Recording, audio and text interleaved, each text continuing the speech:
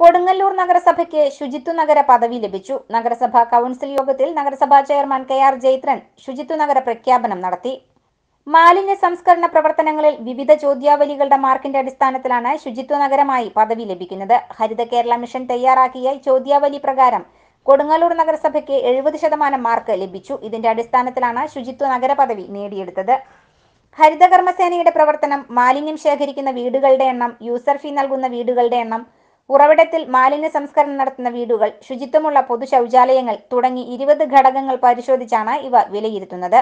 നഗരത്തിൽ പൊതുമാലിന്യം സംസ്കരിക്കുന്നതിന് വിവിധ കേന്ദ്രങ്ങളിലായി മുപ്പത് എയറോബിക് ബിന്നുകൾ സ്ഥാപിച്ചിട്ടുണ്ട്. കോട്ടപ്പുറം മാർക്കറ്റിൽ നിന്ന് ഓരോ ആഴ്ചയിലും ശേഖരിക്കുന്ന ആറ് ടൺ പച്ചക്കറി അവശിഷ്ടങ്ങൾ വളമായി മാറ്റി വിപണനം ചെയ്യുന്നുമുണ്ട്. വീടുകളിൽ ബയോഗ്യാസ് പ്ലാന്റുകളും ബയോഡൈജസ്റ്റർ പോട്ടുകളും സൗജന്യ നിരക്കിൽ വിതരണം ചെയ്യുകയാണ്.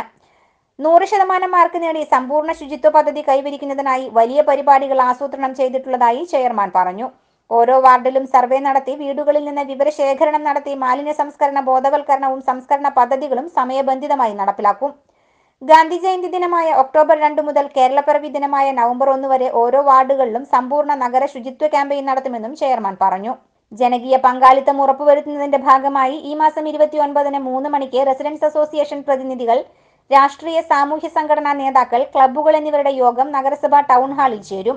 ബന്ധപ്പെട്ടവർ യോഗത്തിൽ പങ്കെടുക്കണമെന്ന് നഗരസഭാ chairman K R Jayathran secretary D K Sujith എന്നിവർ അറിയിച്ചു.